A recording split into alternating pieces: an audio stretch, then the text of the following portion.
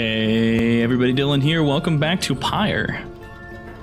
Having overcame, that's actually grammatically incorrect, right? Having overcome the withdrawn in a pitched battle, you and the others have some moments to recover from the ordeal and the relative safety of the Black Wagon. So, uh, uh, when can we get out of here? What Greentail? Had enough of Udmilhi's hospitality for the time? Oh, Jody, yeah, thanks, I'm good. The reader and the stars will point the way as ever. It's just, so far, we've kept on going north. If that's the case again this time, the Sea of Solace spreads north and west for here, from here, for untold leagues. I could not tell you when last a vessel dared to sail those waters. The Sea of Solace is an impossible oceanic expanse pockmarked by crude little islets. Attempts to sail across the Daran Sea do not usually turn out so well. Ti'zo asserts himself during the conversation. What is the matter, little one? He's trying to get you to come look at something outside the wagon. Reader, please go see what he wants. You excuse yourself and follow the imp into the dark of night. You find Faye and the lone minstrel already gazing up at the stars. Can you not read the stars yourself, then, Mr. Minstrel? I fear it is not so simple as matters of can or cannot when it comes to me, Faye. We shall see what the reader has to say, for this is her charge. And here she is, in fact. Thank you for fetching her, Tuzo. Skriha! He's happy to have helped. Reader, it would seem the skies have cleared to some extent. Please look upon the stars and see where they compel us to go next. You look towards the heavens. Seek now your destination. Um, hmm. Eh. Eh. Eh. Yep, further north. Horace, the Azure Star. Okay, that's pretty freaky but cool looking. The rites beckon you still further north, towards the middle of the Sea of Solace. Oh, that's not good. You're joking, right, sister? Does the reader seem the joking type to you, Greentail? We do not argue with the stars. You talk like we can just go right, right out into the water. Pardon my interruption, though. Perhaps we can. Uh, say what? My client, Sandalwood. He has a way of anticipating such eventualities. West of here lies a place called Big Bertrude's. The proprietor is an old companion of his. She may be able to assist us. Small bog dweller outpost at the edge of the sea. All sorts of contraband used to come through here, though some of it fatal if touched or inhaled. Edwin's smile returns. Well, that sounds like our best shot right now. Let's pack it up and move as soon as possible. Oh, got some talking to do. Okay, Minstrel, what are you thinking about? Greetings, reader. It is good that you are here, for there is something I wish to tell you privately. Do you have a moment? I shall not keep you long, though I know your time is precious. Of course I have a moment. You bid him to continue and make clear your interest in whatever he has to say. Very well, and thank you for your time. And I should further note, matters that pertain directly to the rites I must reveal to you alone, for thus I am obliged. In any case, when you confronted the withdrawn, and witch Udmilhi, you might recall she tended to invoke a certain name. Yizlak, the Astral Born. I hesitate to say it even now. You would be forgiven if you took the ravings of Udmilhi for mere, mere nonsense. However, her words, as it turns out, ring with a certain truth. Before the union of the eight scribes, when first they found themselves here in the downside, the land was even less hospitable, if that can be believed. It was ruled over by the greater titans. The one called Yizlak was the eldest and most fearsome of the lot. The greater titans are colossal monsters that once roamed the downside. The scribes together slew them one by one and through this forged their bonds. Just the same, the scribes managed to defeat it. They later used Yizlak's own hide and ichor to bind the Book of Rites. However, Yizlak did not truly die, for by some accounts it seems to be incapable of death. The creature is regenerating even now, though very, very slowly. Its vow is to devour this land and everything in it. Only then can it return unto whatever plane that banished it to ours. So, in a way, it is an exile, just like you. If ever should the creature be reborn, it shall be many ages hence. Thus, the ravings of Udmilhi are more or less inconsequential for the while. Yet, the history of Yizlak is inexorably linked to the rites and therefore must be known. I trust your research of the book shall lead you to discover more in time. I hope all of this is of some reassurance. And now I leave you to your more immediate concerns. I shall go check to see how everyone is faring at the time. He heads out into the evening, bidding you a good rest of the evening. Huh. Alright then. Pretty cool stuff. Let's continue the journey. To Big Birdies. Yeah, baby. Let's head on down to Big Bertrude's Barbecue and Foot Massage. This is the place. Let us go to see my client's companion as soon as you are ready. I'm ready, so guess let's do it. Big Bertrude's is a sickly gathering of bog dwellers who stay within shadows, yet you can feel their eyes surveying everything. The lone minstrel steps forward. Sandalwood sent us. These words are enough to make the bog dwellers snap to attention. They emerge from the mud and dark and begin inspecting your black wagon with their strange tools. One of the bog dwellers slithers forth. She's larger than the rest and leaves no doubt that she commands the other.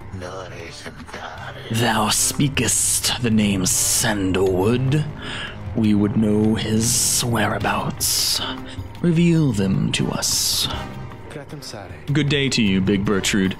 It is a pleasure to meet you at last, for Sandalwood always spoke highly of you and your handiwork. Much feared and respected for sorcery. Ah, he did, did he?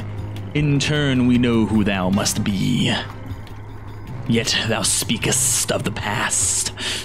Sandalwood, doth he yet live? Speak plainly and quickly.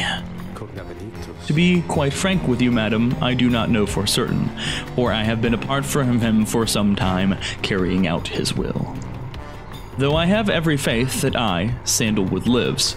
As for his current whereabouts, I understand that he awaits us somewhere near Walk- Wakingwood beyond the waters, labyrinth of forest on the western half of Black Basin. Few know their way around it. We wish to seek him there, though as you can see, our wagon is ill suited for the task. The one called Bertrude frowns at this, studying the lone minstrel all the while. Ah, indeed. Then leave us. Return at dawn. That is all. Ma forte va. By your grace, Big Bertrude. The lone minstrel turns away, but Hedron stops him. Hold on, are you sure about this? Leaving the wagon in their care? All should be in accordance with my client's plan. You keep calling Sandalwood your client. He must reward you well. I, in a manner of speaking, he helped me find a sense of purpose I thought lost. Edwin nods at this, then turns to you. Well, my friend, I guess we'll see what happens, right? I'm off to let the others know. You find yourself with time for your vocations while the bog dwellers go about their business. I think we're to read the book again, right? I feel like we just read the book every time. We can mentor for. Yeah, I think we just read every time. Right? I think we just always read. You excuse yourself from the others to go pore over the Book of Rites and its mysteries. Through greater understanding comes the reader's influence. Focus on which aspect of the Book of Rites. Um, I think we want quickness, having played a little bit even more. You concentrate on your knowledge of the eight scribes and how together they compose the Book of Rites among their many feats. Inspiration comes to you in a flash, whether from the book or from within, you cannot tell. You gain the reader's influence, celerity. Well, everybody knows celerity is overpowered, so. Continue the journey. Got nothing else to do. The lone minstrel finds you early the next day. Reader, it is ready. Please come have a look. The others are, are already there. Lone minstrel beckons you to come see the wagon. Step inside. Oh, hey, swagtastic. The black wagon appears different now than it did even a day before. The hull is fully sealed and reinforced, and all manners of nautical equipment adorns the port side. Ah, wow. You people seeing this? I'm gonna have a look around. The wagon should be fit for sea voyage. Let us depart at your earliest convenience. Uh, what about Big Bertrude? She then appears, as if on cue. Tell that Sandalwood he owes us twice over. If I may, Big Bertrude, you could tell them yourself if you wish to accompany us in our voyage north. Our group could welcome someone of your vast experience. Dare thee make flirtations upon us. Uh, no, I. Enough. But should ye see that Sandalwood, tell him also to come and visit us again. Now, be gone from here and tell no one we were paid in favors. She slithers off without another word. Soon, the lone minstrel breaks the silence. We are fortunate that she assisted us, but we should go just as she said. I know the navigational controls and shall explain. Oh, this is so exciting. I don't know how to swim. Scree! He is also excited. I am beginning to feel ill already. Your black wagon became seaworthy. The Sea of Solace awaits. That's exciting. You've not been to this region of the downside. All right. I guess we ride.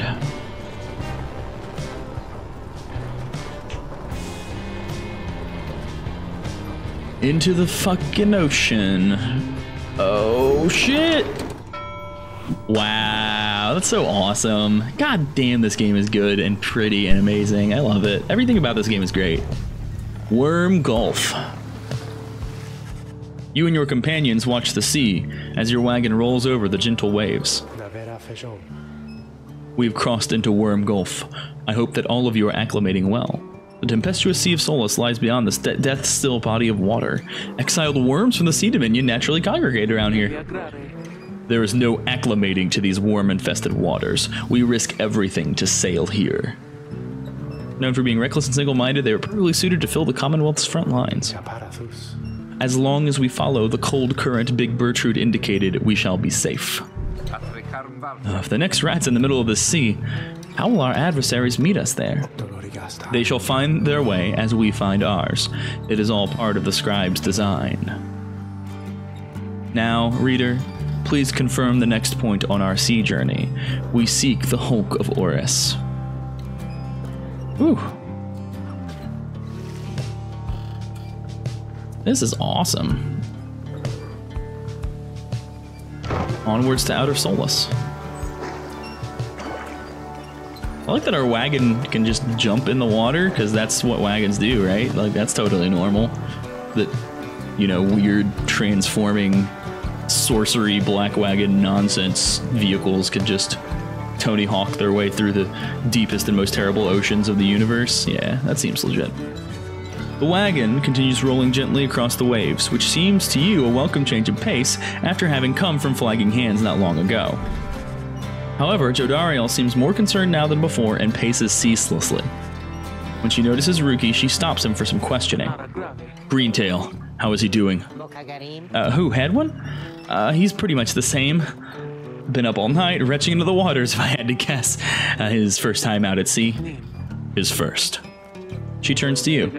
Reader, please check on Hedwyn when you have the opportunity.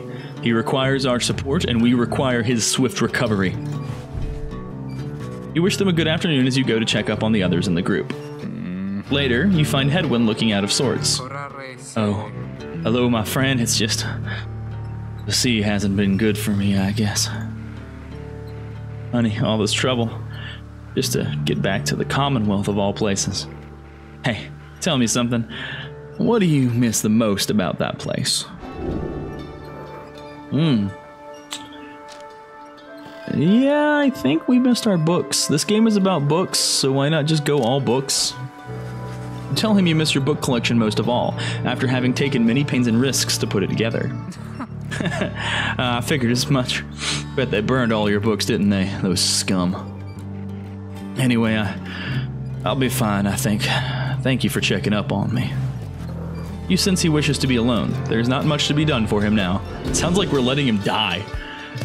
Piers Headwind is too ill to conduct the next rite. Oh, awkward. May he soon get well. I'm sorry for my interruption, reader. Please again confirm the next point on our voyage. Oh man. Onwards to the Sea of Solace, and then I think we're gonna be close to the place where we do the rite. Oh my god. It's so pretty. It's so colorful. Not what I expected when they talked about it being a terrible worm infested place. Oh, by the scribes! The sea, I didn't know it was so beautiful! Having escaped the waters of Worm Gulf, you now can see what must be the Hulk of Ores, far on the horizon. Not everyone has taken well to the sea voyage, however. Rome? He's wondering if Edwin is okay. He requires further rest, Ti'zo. All we can do is wish him a swift recovery. Reader, madam, from this point our voyage must diverge from Bertrude's instructions. Please consult with your companions about which course to take.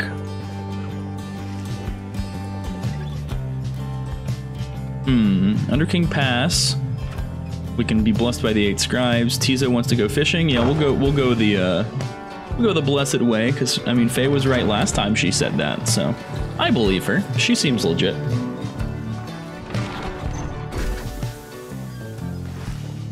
You find Faye gazing down into the depths.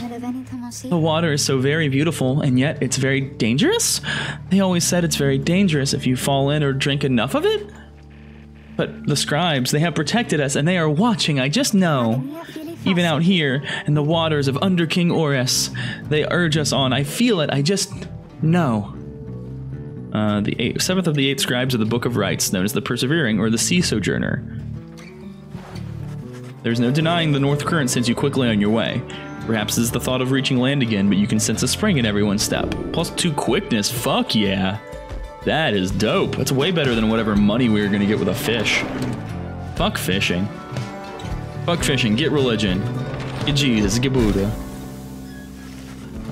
At last you arrive at the Hulk of Ores, after journeying across the sea. It seems the next ride is to commence here soon. There is no sign of your next adversaries yet. Alright. Well, let's see what we got in the black wagon. We've got Nautical Bell. We've got the Beyonder Crystal. Looks like nobody needs it. Got another page of the Book of Rites. Down the river, in the words of Golgol Athenian. Hey, I did this time. The Master General. The Emperor Solium knew naught of this, of course. His expedition yielded not the treasure he desired, but brought him closer to his country than he had ever been before.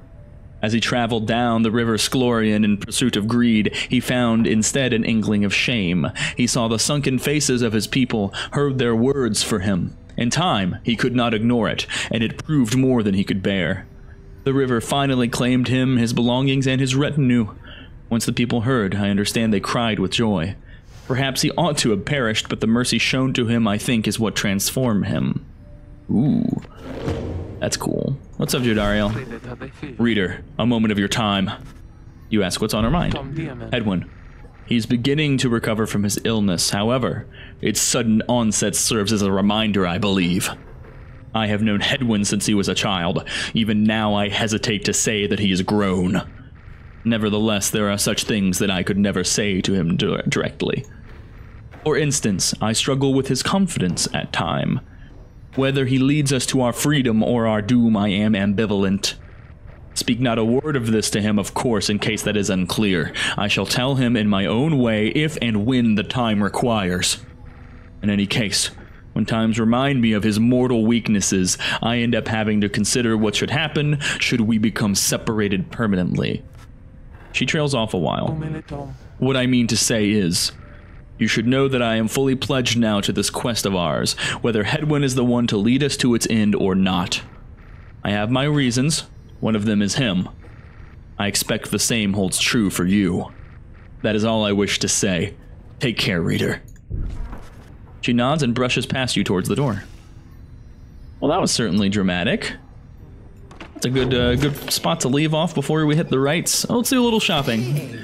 Oh, hey, you guys. Funny running into you out here right in the middle of the drink, know what I mean? Not a lot of customers today, so have a look. I'll give you a good deal. God damn it.